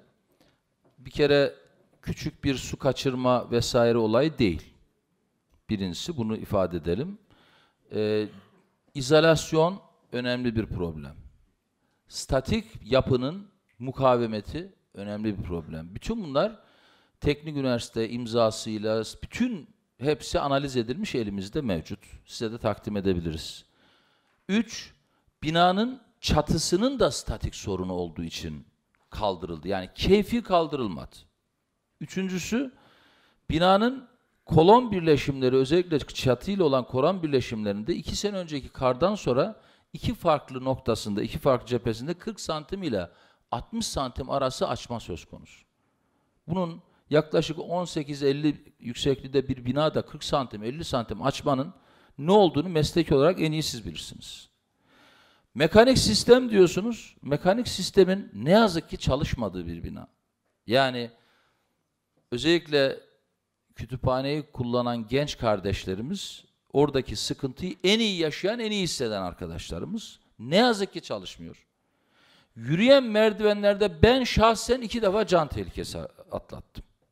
Yani yılın yarısında çalışmayan, yarısında çalışan yürüyen merdivenler. Asansörler keza aynı. Yani statiğinden mekaniğine, elektriğinden yapının birçok unsuruna kadar. Ne yazık ki. Yıl açısından da geçmişini anlattım. Bakın, kötü başlanmıştır. Sonra bir rehabilite revizyon geçirmiştir. Tekrar ihale edilmiştir. Hatta ihale süreciyle ilgili yap o dönemki müteahhidiyle halen devam eden mahkememiz vardır. Onu da söyleyelim. Bu mahkeme ta Yusuf Bey döneminde açılmıştır, halen devam ediyor. Bakın özellikle bizden önceki dönem iyi niyetle çok hızlı toparlanıp hizmete açılma sürecini ben şahsen biliyorum. Bir başka konuşmamda teşekkür de ettim. Bir önceki dönem a- yönet e, belediye başkanı arkadaşıma. Ama maalesef kötü doğdu. Çok kötü. Kim ister şu dönem böyle bir yatırımı oraya aktarmaya? Kim ister? Ama ne yazık ki yapmak zorundaydık ve yapıyoruz. Statik, mekanik, elektrik tüm unsurlarıyla raporlar elimizde. Gelelim iki buçuk yıl mevzusuna. Süreçleri yanlış hatırlıyorsunuz. Ağustos sonu itibariyle kültür merkezimiz kapatılmıştır. Geçen sene. Geçen sene. Ağustos sonu. Ee, söküm işlemleri vesairesi bitirilmiştir. Şu an ince işlemleri devam ediyor. Yani iki buçuk sene değil, bir yılı dolacak önümüzdeki ay sonu itibariyle. Önümüzdeki ay sonu itibariyle. Artı inşallah Ekim ayında içine gireceğiz. İnşallah Ekim ayında içine gireceğiz. Ve iddia ediyorum. Tabii ki düzeltebildiğimiz kadarıyla düzelttiğimizi düşünüyorum. Ee, bir binayı yeniden yapmak en iyi binadır. Bunu meslektaşlarım iyi bilir. Bu şekilde toparlamak zor bir iştir. Ama en iyi şekliyle toparlamak kaydıyla Ekim ayında hizmete açacağız. Göreceksiniz İstanbul'un en güzel kültür merkezini açmış olacağız. Gerçekten kültür merkezi. Yani bu bağlamda şüphe duymayın. Ekim ayında inşallah kıymetli hemşerilerimiz sizler de dahil olmak üzere oradan hizmet almış olacaksınız. Bu da bir yıllık bir kayıp olacak. İki buçuk yıl değil. Tekrar altını çiziyorum. Bir yıllık bir kayıp olmuş olacak. Evet son önergenizi alalım. Oylamıyorum. Yani bunu da izah ettiğimi düşünüyorum. Peki. 15 Temmuz tarihi Türkiye Cumhuriyeti tarihinde milletin kendi kaderini çizdiği ve kendi kaderine, geleceğine müdahale ettiği bir tarihtir. Dolayısıyla bu çok önemlidir. Belki inşallah bundan sonraki darbelerin veya darbeye teşebbüs edeceklerin cesaretini de kırmıştır. Dolayısıyla 14 15 Temmuz tatil cumartesi, 14 Temmuz günü e, cuma günü e, meclisimizin özel gündemle 15 Temmuz konulu özel gündemle toplanmasını teklif ediyorum. Ee, şimdi Ali Bey şöyle bir kere 15 Temmuz'la ilgili zaten belediyemizin muhtemelen ilçe kaymakamlığımızın da farklı programları ilçe bünyesinde yapılacak. Yani e, bu konuda meclisin toplanmasının bir gündemi olmalı. Biz mecliste değil de vatandaşla toplanmayı uygun görürüz diye düşünüyorum. Yani bu konuda da dediğim gibi muhtemelen kaymakamlığımızın da bir program olacaktır. Bizim de bir programımız olacak. O bakımdan yani mecliste toplanmanın halka vereceği mesajı biz zaten geçen sene bu mecliste hep beraber verdik. Ortak deklarasyon, ortak duruş. Hatta bir ay sonrasında da o gün aldığımız karar gereği Beylikdüzü'nün en güzel parklarından bir tanesinde 15 Temmuz ismiyle de taşlandırdık. Dolayısıyla hani bizim önümüzdeki 15 Temmuz'a yerel olarak hazırlığımız var. Kaymakamlığın da olacak. Yani bunu bir meclis toplantısı şeklinde yapmanın çok lüzumlu olacağını, bir grup kararınız mıdır bilmiyorum ama çok doğru olacağını düşünmüyorum. Esas olan halkla birleşmek, bütünleşmek diye düşünüyorum. Muhtemelen siyasi olarak da e, siyasi olarak da siyasi partilerin de bu anlamda programlar olacaktır diye düşünüyorum. Evet. Bu konuda grubumuzun görüşü nettir. Meclis toplanacaksa tamam gayrisiz meclisi o etkinliklerin birinde toplayalım. Halkın içinde. Tabii tabii o etkinlikler Olabilir. kaymakamlığın olabilir, belediyenin olabilir. Ola- orada toplayalım. Olabilir. Ne olursa olsun biz hepsine Ne, ya katılırız. kaymakamlık niye olsun canım? Belki parkta olacak. Program akışı belli olsun. Program biz akışı Cumhuriyet Halk Parti grubu olarak yani. bütün arkadaşlar orada olacağız. Peki. Ama burada O dediğiniz olabilir. gibi gerekli değil. Yani Ama bütün gruba çağrı yapalım. Bütün yok. gruplara orada olalım. Tamam. Benim düşüncem o. o- Öyle değiştirelim mi? O isim Önerge olmasın. Hayır şöyle yapalım. Tamam temenni. Yok şöyle yapalım. Yeri biz yer, yeri biz belir kaymakamlık değil. Yeri biz belirleriz. Yerin e, meclis salonu olmaması noktasında bir görüş birliği var anladığım kadarıyla. Programa göre. Yani yapılacak programa göre ki parkımız var. Parkta da olabilir. Tamam. Ee, o o vesileyle bir e, 15 Temmuz gündemli bir program dahilinde meclisin toplanması hususunun önerge olarak gündeme alınmasını oylarınıza sunuyorum. Programın yapılacağı Evet. yerde. Kabul Tamam. edenler, etmeyenler oy birliğiyle karar vermiştir. Evet. Gündeme aldık. Evet, insan kaynakları e, müdürlüğünden kadro değişikliği hususu var. Teklif karar... Onu aldık. Onu aldık. Evet, e, kadro değişik teklif kararı olarak oylarınıza sunuyorum. Kabul edenler, etmeyenler oy birle karar vermiştir. İkinci madde Kültür Sosyal Müdürlüğü'nün Kültür Sos ve Sosyal İşler Müdürlüğü isminin Kültür İşleri Müdürlüğü olarak değiştirilmesi hususunu teklif kararı olarak oylarınıza sunuyorum. Kabul edenler. Buyurun.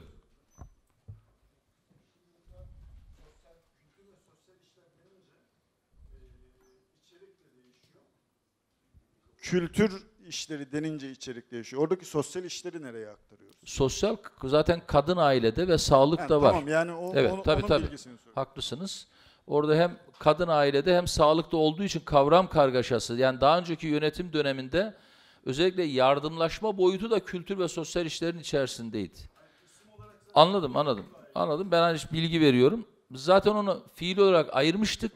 Şimdi de isim olarak düzeltme yapıyoruz. Teklif kararı olarak oylarınıza sunuyorum. Kabul edenler, etmeyenler oy birliğiyle karar vermiştir. 3. İnsan Kaynakları Müdürlüğü'nden bir yurt dışı gezisi teklifi var. Ee, bu Münih Kardeş Belediye hususunda e, insan kaynakları yönetimiyle alakalı iki bürokrat arkadaşımızın e, bu Münih Belediyesi ile ilgili bir gezi hususudur. Teklif kararı olarak oylarınıza sunuyorum. Kabul edenler, etmeyenler oy birliğiyle karar vermiştir. Yine dördüncü madde Kadın Aile Müdürlüğü'ne bir bürokrat arkadaşımızın yine aynı yardım ve bu tür hususlarda yurt dışı tecrübelerin paylaşılması ile ilgili bir e, yurt dışı gezisidir. Bunu da bu bürokrat arkadaşımızın gezisiyle alakalı teklif karar olarak oylarınıza sunuyorum. Kabul edenler, etmeyenler oy birliğiyle karar vermiştir. Beşinci maddemiz işletme iştirakler maddemiz e, müdürlüğümüzden. E, bu daha önce 10 yıl olarak ihale edilmiş olan sürecin tamamlanmasından ötürü e, tekrardan bir 10 yıllık süreyle kiraya verilmesi alakalı bir e, maddedir. Bunu da teklif kararı olarak oylarınıza sunuyorum. E, sadece süre. Başka bir şey yok. Yani bu daha önce e, yani açık ihale yapılacağı için bunlar kısa süreli ihalede olmuyor. E, daha önce de sadece süre. Diğer konu yok. Yani biz bunu dün de arkadaşlarımla tartıştık. Yani plan bütçeli konuşulacak bir şey yok. Sadece süre. Dolayısıyla e, bu tüm belediyelerde aynı. Daha önceki yapılan ihale de yani 10 yılı tamamladığı için tekrardan bu yetkiyle ihaleye çıkması gerekiyor. Bu şekilde teklif kararı olarak oylarınıza sunacağız. Teklif kararı olarak oylarınıza sunuyorum. Kabul edenler, etmeyenler oy çokluğuyla kabul edilmiştir. İşletme İştirakler Müdürlüğü'nden TEDAŞ'la ilgili bir tahsis konusu var. İmar Komisyonu'nun havalesini oylarınıza sunuyorum. Kabul edenler, etmeyenler oy birliğiyle karar vermiştir. Yedinci maddemizde yine aynı hususta yine işletme iştiraklerden İmar Komisyonu havalesini oylarınıza sunuyorum. Kabul edenler, etmeyenler oy birliğiyle karar vermiştir. Sekizinci madde yine işletme iştirakler müdürlüğünden TEDAŞ'la ilgili bir konu. İmar Komisyonu havalesini oylarınıza sunuyorum. Kabul edenler, etmeyenler oy birliğiyle karar vermiştir. Dokuzuncu maddemiz de yine işletme iştiraklerden. İmar Komisyonu'nun havalesini oylarınıza sunuyorum. Kabul edenler, etmeyenler oy birliğiyle karar vermiştir. Onuncu maddemiz Yine TEDAŞ ile ilgili bir husus. Ee, İmar Komisyonu havalesini oylarınıza sunuyorum. Kabul edenler, etmeyenler oy birliğiyle karar vermiştir. 11. madde yine aynı. Ee, bunu da İmar Komisyonu'na işletme iştiraklerden gelen İmar Komisyonu'na havalesini oylarınıza sunuyorum. Kabul edenler, etmeyenler oy birliğiyle karar verilmiştir. 13. maddemiz, e, pardon 12. maddemiz belediyelerin taşınmazlarıyla ilgili alım satım ve takası trampa hususu var. Bunun hukuk komisyonunun havalesini oylarınıza sunuyorum. Kabul İmar, edenler imar gerekir mi burada? gerekmiyor. Çünkü e, tamamen satın almayla ve trampayla takasla ilgili mali hususlar ve hukuki hususlar daha doğrusu hukuki içerikte hukuk komisyonu havalesini yani şöyle e, şöyle yani bir plan değişikliği yok. Bir planla ilgili husus yok. Yakuplu Camii civarının temizlenmesiyle ilgili bir çalışmamız bunun hukuki olarak oradan hukuk komisyonundan değerlendirilmesi gerekiyor. Yani hukuk komisyonuna sevkini oylarınıza sunuyorum. Kabul edenler, etmeyenler oy birliğiyle karar verilmiştir. Yine 13. madde işletme ve iştirakler. Kaldı ki şöyle bir şey söyleyeyim. Yani hukuk komisyonunun uygun gördüğü bazı şeyler var ise aynı şekilde imar komisyonunu benim bildiğim kadarıyla e, toplantısına dahil edebilir, görüş alabilir, görüş isteyebilir. Yani bu hakkı var ama ama tekrar söylüyorum imarla ilgili bir konu değil. Yani onu söyleyeyim. Yani bir imar uygulaması yok, bir plan değişikliği yok, plan süreci yok. Sadece mülk sahipleriyle belediyenin anlaşması ile ilgili bir konu. Yani bunun imarı ilgilendiren bir hususu yok. 13. madde işletme iştirakler müdürlüğünden tasfiye halindeki mega kentin borçlarının silinmesine karşılık belediyeye bir kısım aranların terki hususu hukuk ve plan bütçe komisyonuna sevkini oylarınıza sunuyorum. Kabul edenler, etmeyenler oy birliğiyle karar vermiştir. Fen İşleri Müdürlüğü'nün Cemevi Kültür Merkezi ve spor alanlarının 4734 sayılı kanunun 62. maddesine göre yıllara yaygın bir şekilde 62. maddesine istinaden yıllara yaygın şekilde ihale edilmesi hususunu teklif kararı olarak oylarınıza sunuyorum. Kabul edenler, etmeyenler oy birliğiyle karar verilmiştir. 15. maddemiz Plan Proje Müdürlüğümüzün bir e, plan değişikliği imar komisyonunun havalesini oylarınıza sunuyorum. Kabul edenler, etmeyenler oy birliğiyle karar verilmiştir. 16. madde Plan Proje Müdürlüğü'nün Beylikdüzü Gürpınar Yakuplu İmar Plan Notu değişikliği hususu imar komisyonu havalesini oylarınıza sunuyorum. Kabul edenler, etmeyenler oy birliğiyle karar verilmiştir. 17. madde yine Plan Proje Müdürlüğü'nün gece kondu önleme bölgesi imar uygulaması ile ilgili bir husus. İmar komisyonunun havalesine pardon Doğru. Hukuk, hukuk. İmar uygulaması cümlesi sizin kafanızı karıştırmasın. Yanlış okudum. Ee, bu tamamen yine e, maliye hazinesiyle ilgili bir bedellerin e, belirlenmesiyle ilgili bir husustur. Dolayısıyla hukuk komisyonuna sevkini oylarınıza sunuyorum. Kabul edenler, etmeyenler oy birliğiyle karar verilmiştir. Komisyon maddelerine geçiyorum. Söz almak istediğiniz maddede söz isteyin. Onun dışında hızlıca geçmek istiyorum. 18. madde İmar Komisyonu raporu geldiği şekliyle oylarınıza sunuyorum. Kabul edenler, etmeyenler oy birliğiyle karar vermiştir. 19. madde İmar Komisyonu raporu geldiği şekliyle oylarınıza sunuyorum. Kabul edenler, etmeyenler oy birliğiyle karar vermiştir. 20. madde Hukuk Komisyonu raporu e, geldiği şekliyle buyurun. Buyurun Doğan Bey. Bundan sonra 19 tane yönetmeliği oylayacağız. Hepsi oy birliğiyle geçti. Ben 3 yıldır hukuk komisyonu başkanıyım. Hem AK Partili arkadaşlar hem CHP'li arkadaşlar da bunu takdir edeceklerdir. Her zaman oy birliğiyle geçmesi taraftarı oldum kararların. Ama oy birliğiyle geçsin derken de hep muhalefetteki arkadaşların da görüşlerini alarak, onları da mevcut çalışmanın içine dahil ederek bunu yapmaya çalıştım. Zaman zaman bunu başardığımız zamanlar oldu. Başaramadığımız zamanlar oldu. Ama bu yönetmeliklerde bunu başardık. Ee, AK Partili arkadaşlar da bu yönetmeliğin üretilmesinde gayret gösterdiler. Bizler de gayret gösterdik. Tabii ki bürokratlar hazırlamıştı. Onlara da teşekkür etmek lazım. Neden burada bu yönetmeliklerde oy birliğinin olması önemli? Çünkü kurumlaşma çok önemli. Ee, belediye gibi kurumlarda, Türkiye'de e, kurumlaşma çok önemli. Biz şimdi bir oy birliğiyle bir yönetmelik geçiriyoruz. Umarım eksiksiz, hatasız bu uygulanır. İnşallah. Eksiklik de olursa yine hani mecliste değişiklik yaparız. Bizden sonraki gelenler de bunlardan yararlansın isteriz. Çok güzel yönetmeliklerimiz var. İşlerimizi, e, bürokrasimizin, e, belediye büro- idaresinin çalışmalarını kolaylaştıran, güzelleştiren e, belediyemize hayırlı uğurlu olsun istiyorum, diliyorum. Evet. Buyur. Tabii geçen ay hukuk komisyonunun e, yükü ağırdı. Sayın Başkan'ın, komisyon başkanının ifade ettiği gibi. E, evet, e, biz tabii hukuk komisyonunda karşılıklı olarak birbirimize değerli katkılar veriyoruz. Bir meslektaşımın da olması aynı zamanda hukuk komisyonunda bazı konularda bazı bakış açılarımızın aynı olmasını da gerektiriyor. Dolayısıyla bu yapılan, evet biraz önce beyan edildiği gibi bu hukuk komisyonu raporlarında belediyenin tüzel kişiliğinin temelini kuvvetlendirici bir e, faaliyettir bu. Biz buna e, oy birliğiyle katkı sunmaya çalışıyoruz ve bürokrat ve müdür arkadaşlarımıza teşekkür ediyoruz. Burada çü- çünkü çok ciddi bir emek harcadılar. Ben e, Beylikdüzü Belediyesi'ne hayırlı olmasını diliyorum.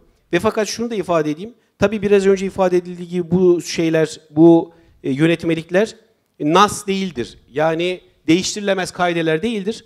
E, tekrar eksiklik, bir gediklik bulursak biz hukuk komisyonu olarak görevi hazırız. Teşekkür ediyorum. Evet, teşekkür ediyorum her iki arkadaşa da. Şimdi hukuk komisyonu raporlarını mümkün olursa şöyle okumak istiyorum. 19. madde ile 38. madde e, tamamen hukuk komisyonu raporudur. Pardon özür diliyorum. 20. madde ile 38. madde arası tamamen hukuk komisyonu raporudur. Ben hukuk komisyonunun ismini anmayacağım. Komisyondan geldiği şekliyle diyerek madde madde oylayacağım. 20. madde komisyondan geldiği şekliyle oylarınıza sunuyorum. Kabul edenler, etmeyenler oy birle karar vermiştir. 21. madde komisyondan geldiği şekliyle oylarınıza sunuyorum. Kabul edenler, etmeyenler oy birle karar verilmiştir. 22. madde komisyondan geldiği şekliyle oylarınıza sunuyorum. Kabul edenler, etmeyenler oy birle karar verilmiştir. 23. madde komisyondan geldiği şekliyle e, oylarınıza sunuyorum. Kabul edenler, etmeyenler oy birle karar vermiştir. 24. maddeyi oylarınıza sunuyorum. Kabul edenler, etmeyenler oy birle karar vermiştir. 25. maddeyi oylarınıza sunuyorum. Kabul edenler, etmeyenler oy birle karar vermiştir. 26. maddeyi oylarınıza sunuyorum. Kabul edenler, etmeyenler oy birle karar vermiştir. 27. maddeyi oylarınıza sunuyorum. Kabul edenler, etmeyenler oy birle karar vermiştir. 28. maddeyi oylarınıza sunuyorum. Kabul edenler, etmeyenler oy birle karar vermiştir. 29. maddeyi oylarınıza sunuyorum. Kabul edenler, etmeyenler oy birle karar verilmiştir. 30. maddeyi oylarınıza sunuyorum. Kabul edenler, etmeyenler oy birle karar verilmiştir. 31. maddeyi oylarınıza sunuyorum. Kabul edenler, etmeyenler oy birle karar vermiştir. 32. maddeyi oylarınıza sunuyorum. Kabul edenler, etmeyenler oy birle karar verilmiştir. 33. maddeyi oylarınıza sunuyorum. Kabul edenler, etmeyenler oy birle karar verilmiştir. 34. maddeyi oylarınıza sunuyorum. Kabul edenler, etmeyenler oy birle karar verilmiştir. 35. maddeyi oylarınıza sunuyorum. Kabul edenler, etmeyenler oy birle karar verilmiştir. 36. maddeyi oylarınıza sunuyorum. Kabul edenler, etmeyenler oy birle karar verilmiştir. 37. maddeyi oylarınıza sunuyorum. Kabul edenler, etmeyenler oy birle karar verilmiştir. 38. maddeyi oylarınıza sunuyorum. Kabul edenler, etmeyenler oy birle karar verilmiştir. 39. madde olarak Büyükşehir Belediyesi'nden gelen şartlı hibe yardımı yapılması hususunu teklif kararı olarak oylarınıza sunuyorum. Kabul edenler, etmeyenler oy birle karar verilmiştir. 40. madde 9 Haziran 2017 tarihinde Batman ilçesinde şehit edilen öğretmen Şenay Abüke Yalçın isminin verilmesi ile ilgili sözlü önerge. Bu zaten çalışmakta devam eden olan harita komisyonuna sevk edelim. Harita komisyonuna sevkini oylarınıza sunuyorum. Çünkü orada bir çalışma var. Harita komisyonuna sevk. Harita komisyonuna sevkini oylarınıza sunuyorum. Kabul edenler, etmeyenler oy birle karar verilmiştir. Yaşam Vadisi'nin e, belediye maliyetini sormuş. Bunu başkanlık makamına sevk edelim. Biliyorum.